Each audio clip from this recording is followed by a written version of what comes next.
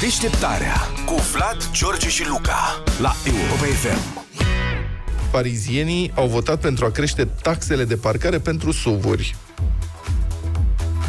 A fost un referendum, 55% dintre O cei duc care prea au... bine. O duc prea bine. Da. 55% dintre cei care au votat, că nu au votat prea mulți, a fost rată de participare destul de mică, dar 55% au votat pentru o taxă de parcare specifică pentru suvurile nerezidenților. Aha, păi de asta au votat. Au A, votat Să nu mai vină... Să nu mai vină s- provincia. Da, sărmanii aia din jurul Parisului, cu da, suvurile da, da. lor, să ne Erau ocupe loc- săracii de la NIS. da, da, Serios acum. Dar și la noi a făcut doamna Firea un referendum pe pagina dânsei de Facebook, când era doamna primar. Cu cer cu unul, cu alea, cu... Da, cu zona. Da. Era un plan să se plătească niște taxe pentru accesul în oraș și controversă și cred că și-a dat seama că unii s-ar putea să fie nemulțumiți. Veneau alegerile și dânsa era interesată să fie toată lumea mulțumită. Era de interesată încât de-aia și pierdut alegerile atunci. Dar a făcut referendum pe pagina de Facebook ceva, deci cred că toți sociologii visau morți. A costat mai puțin Da. să-l facă pe pagina de facem Facebook. vot pe pagina mea de Facebook. Și ce să vezi pe pagina dânsei de Facebook? Lumea a zis că nu vrea taxe suplimentare. A făcut un poll. Da, vreți să plătiți mai mult? Nu vrem să plătim mai mult, au zis 95%. Și rezultatul a fost gata. Nu se mai face nimic. Cred că se lua puțin și de bucureșteni, adică nici bucureștenii de prin sectoarele 2, 3, 4, 5, 6 nu prea aveau voie pe magherul fără să plătească taxă. Da. Și asta a fost problema, că dacă vorbeau doar de uh, cetățenii din uh, Iași, Vaslui, Timișoara, Bihor, rog, era un plan probabil cam- că era mai simplu. Era un plan cam dubios, uh-huh. dar uh, traficul în Buc- și nu doar în București. Sunt foarte multe orașe în România în care traficul este foarte, foarte dificil. Și cred că îți trebuie foarte mult curaj, ca edil, să iei niște măsuri de reducere a aglomerației uh, în, în traficul din orașele acestea, pentru că trebuie luate măsuri nepopulare. Asta e. N-ai Eu ce am- să faci. eu am Nu crezut- rezolvi decât cu taxe, cu taxe de parcare, cu taxe de acces, cu taxe de poluare, altfel n-ai cum. Eu am descoperit, am crezut că doar Bucureștiul e aglomerat, dar am descoperit Nu. și că și Iașiul e super aglomerat Iașiul, la Timișoara, unele ore. Clujul. La Timișoara, aduceți-vă aminte cât am făcut în trafic, bine, cum ducea Luca și Ne mai luam cu vorba, mai era... asta a și agravat un pic situația. Da, dar noi eram în vacanță Dar acolo. era aglomerat. E alt ritm. Da. Era un vacanță. Da, super aglomerat. Super aglomerat. Bine, mă, nu eram, eram la serviciu, mergeam de la... Practic, plecasem de la serviciu până a doua zi când ne întorceam la serviciu. De ce Nu era nu în chiar vacanță? Adică tu ești în vacanță după ce se termină emisia, până diseară când face sumarul? Da. Era ceva, era ceva de genul, nu trebuia să facem aici stânga, ba da, dar... Asta nu e, hai să mergem. vedem pe Mai unde vedem întoarce. și mai păi. Hai Da. să venim că avem o discuție Hai să de revenim la purtat trafic, da. cu as- Vreau să vă întreb, prieteni, ce... Uh, ce credeți că ar trebui să facă primăria pentru a descongestiona traficul auto? Adică ce măsuri ar trebui? Luca ridică din numeri. Păi eu nu, habar n-am. dar eu aștept că domnul Nicușor a zis că are un plan de se rezolvă Da. repede într-un an. N-are, nu s-a și rezolvat. nu s-a așa, mai aștept Să știi văd. că domnul Nicușor, Poate pe ultima sută Acum nu vreau să îi iau apărarea, dar asta e. Domnul Nicușor uh, a început să refacă liniile de tramvai și repară linia asta 5. Și are un Așa. plan să treacă cu tramvaiul și prin Piața Unirii. Deci dacă dezvoltă transportul în comun. Asta mai lipsea Cu pasajul adevărat. ăla și tramvai în Piața Unirii. Da. Ce? E târziu ori. Da, nu cred că o să, poate nu, Nu mai cred că apucă, apucă, da? da. Nu nimic, o să fa- vine un nou primar și o să facă niște petreceri frumoase. Deci, în, în Paris, șoferii vor plăti până la 18 euro pe oră pentru a parca în centrul Parisului și 12, 12 euro pe oră în zona mai largă a orașului dacă vin cu suvurile astea Mamă, mari. ca. Asta Da. e o sumă pentru oricine și dacă ai bani e mult. Da. Deci, în principiu, dacă ai SUV, după ce se aplică decizia asta, nu mai intri în Paris cu el. Că nu ai unde să... Adică 18 euro pe oră în Paris, în centru, ca să vii cu SUV-ul tău, deci la revedere, pa. Și oficialii parizieni, cred că și alte orașe din Franța, vor urma exemplul Parisului în încercarea de a se reduce aglomerația, da, traficul. La noi, practic, dacă s-ar da o lege de asta în București, ar dispărea limuzinele. Că toți da. boșii și-ar lua SUV ca să arate că, bă, Mhm. tată, eu am bani de parcare, nu... Și în Londra sunt taxe de acces în centru 0372 069 599 telefonul nostru, sunați-ne să vorbim despre asta. Gândiți-vă uh, ce măsuri ar putea lua primăria din orașul în care sunteți împotriva aglomerației auto. Ce ar trebui să facă? 0372 069 599 Da, idei, propuneri, ce ar trebui să facă primăriile ca să reducă uh, aglomerația din traficul din orașele mari din această țară. Până acum am vorbit despre tarife foarte mari de parcare. Um, noi am dat aici exemplu Parisului, am primit mesaje în care ni s-a spus că sunt uh, tarife foarte mari și în alte țări. La Amsterdam, de exemplu, unde zice că de ani de zile costă aproape 20 de euro pe oră parcarea în centru. Serios? Uite, poate de Și cineva susține că la Viena ar fi 25 de euro pe oră în centru. Poate, nu știu, n-am parcat niciodată în centru într-o parcare publică. În ring, acolo e foarte scump. Da, nu știu. Uh, Dar e foarte interesant exemplul Amsterdamului. Dacă faci o mică cercetare pe internet, descoperi că Amsterdamul în anii 60-70, pe- până la începutul, mă rog, sfârșitul anilor 70, era un oraș super aglomerat. Deci Sufocat de mașini. sufocat de mașini, sunt fotografii de acolo cu niște ambuteiaje înspăimântătoare. Și primăria a avut o viziune, a luat niște decizii curajoase, uh, a urmărit un plan și iată... E sufocat acum de biciclete. Da, acum sunt foarte multe biciclete. Robert, Neața. Salut, Robert!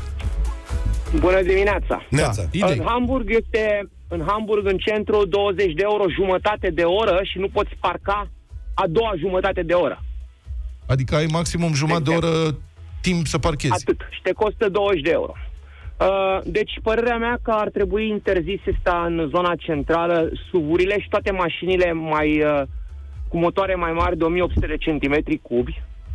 Dar ce Uh, legătură toate are, dieselele. ce legătură are Asta că motorul nu, că nu vorbim de poluare, vorbim un de... loc, un loc în... Am înțeles, Păi ai vrea asta să... este, Dar ăsta- vorbim de nu, trafic ăsta aglomerat. este, Acum o ăsta mașină este. mică ocupă un loc în trafic la fel ca o mașină care are motor mai mare. Nu la fel, pentru că o mașină mică are în jur de 7-8 metri pătrați, iar una mare stați închite 10-12 metri pătrați. Nu e așa. Ok. Uh, deci, uh, toate mașinile astea uh, 10-12 mari metri și cu pătrați. motoare mari au dublu ăsta uh, impact asupra mediului urban. Ok, Ocupă bun. mai- Deci Mulțumim. taxe, pentru, taxe de acces pentru mașini mai mari. 10-12 metri pătrați, un SUV, mi se pare un pic cam 3 pe Miruna, 4. bună dimineața. Și are 3 metri lățime. Bună dimineața! Da. Salut! Uh, Bună! Bună dimineața! Din uh, București Da. sunt mai multe probleme. Într-adevăr, se pot mări uh, taxele la parcare. Mulți am, uh, inclusiv eu, am renunțat la mașinile mari, am ales uh, un electric pentru că oferea și uh, beneficiul de a avea parcare gratuită atât timp cât ești cu numărul înregistrat pe București. Uh-huh. Au schimbat acum legislația, dacă până acum... Nu mai e vinieta mea facilitatea era asta. până- Nu mai e? Ba nu, nu, este, este. Este? Înainte aveam vinietă până în 2027 acum. Mi s-a spus că doar până la sfârșitul anului 2024, în funcție de ce va decide probabil Consiliul uh, Nou Consiliu. local. Dacă Noul sunt... Consiliu. Nu uita de Spark, care au plecat și au motivat tot chestia asta, că nu mai au parcare gratuită. Nu, era, era business. Pentru cetățeni, Business, pentru da, dar persoane era una fizice. din motivații. De asta, de acolo dar știu. sunt situații total Pe de diferite, altă parte, Zaf. eu Pentru sunt, persoane sunt o fizice, mamă. parcarea este gratuită dacă ai mașină electrică. Serios? Nu le-au acceptat celor de la un business care avea mașini Ah, electrice. ok. Da, Miruna, te ascultăm. Iartă-ne. Pe de altă parte, eu sunt o mamă care sunt în trafic de datorită faptului că trebuie să duc uh, copiii la școală, să iau de la școală. Mhm. Dacă primăria ar organiza rute uh, safe pentru elevi, uh, pick-up, drop-off în uh, zonele principale unde sunt uh, aglomerațiile urbane, eu, spre exemplu, sectorul 1, sectorul uh, uh, 2. Poți să la te întrerup o universitate. secundă apropo de asta?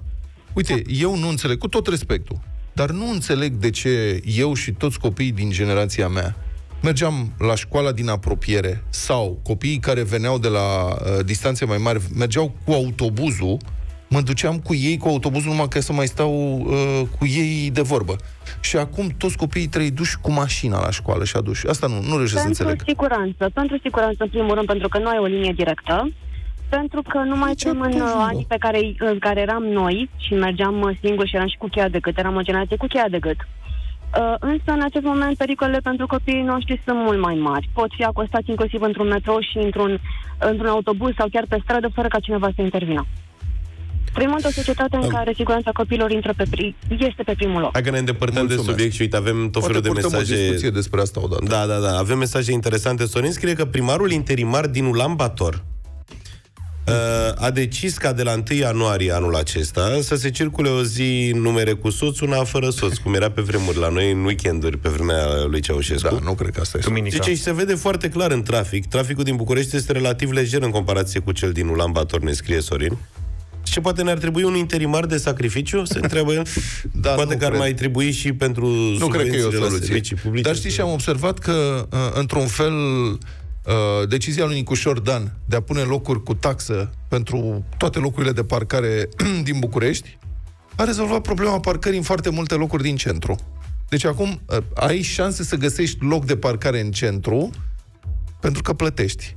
În urmă cu 2-3 ani, bă, dai cu tunul și nu găseai un loc de parcare. E pentru că adevărat, era da. gratis. E adevărat asta. Constantin, bună dimineața! Bună dimineața, domnilor. Salut. Uh, vă sun... Uh, lucrez într-o firmă de proiectare, uh, am participat la câteva studii de trafic. Te rog, Mhm. care-i propunerea? Uh, Care-i ideea? Ce ar trebui făcut? Nu mai avem mult timp, te rog. Uh, am înțeles, sigur. Mă, uh, ideea este simplă. Nu avem civilizație în trafic una la mână, iar ca parte tehnică uh, este vorba de asfaltul din intersecții, care te obligă să mergi cu 10-15 km la oră și în felul ăsta trec 5-6 mașini pe, pe semafor, pe, pe culoare verde. Dacă ai avea un asfalt în toate intersecțiile unde să-ți permită să te deplasezi cu 50 la oră, din acele 3, 4, 5 mașini uh, ai să rămâi uimit. Te referi la faptul că e 20 denivelat și nu mașini. poți să treci mai repede prin intersecție? Am. Exact. Deci, scuze-mă, deci tu, tu ești într-o companie care se ocupă de problema traficului și de cum se poate rezolva problema traficului? Asta am înțeles? Nu, suntem doar o firmă de proiectare și noi doar executăm proiectele de... Am înțeles. Am înțeles. Deci să punem, domnule, Mulțumesc bet- pentru să punem idee. beton. Plăci, nu Interesant. putem spune plăci. Nu, în betonul e intersecție. mult mai nasol decât Da? asfaltul. Ionuț, bună dimineața! Bună, Ionuț. Mai avem doar câteva dimineața. secunde, te rog. Ok, noi, eu sunt din Oradea. Uh, În Oradea s-au făcut și se va face în continuare pasaje pentru fluidificarea traficului. Uite o idee. În centru civic la noi a fost o mega gerație mare, era o nebunie. Acum s-au terminat pasajele, se trece ca prin brânză. Bravo. Și se fac tot felul de centuri în jurul uh, comunelor limitrofe. Ca să Ionuț, poată un să stadion spune- vă lipsește de acolo, Da, să da, știi. da, da, da, Eu sper da. să vă facă repede și Domnul stadionul. Oradea este un exemplu. Păcat că domnul Bolojan nu vrea să vină la București ca să pățească ce a pățit domnul Boc. Și cu asta ne oprim aici, vin știrile în 5 minute. Deșteptarea cu Vlad, George și Luca la Europa FM.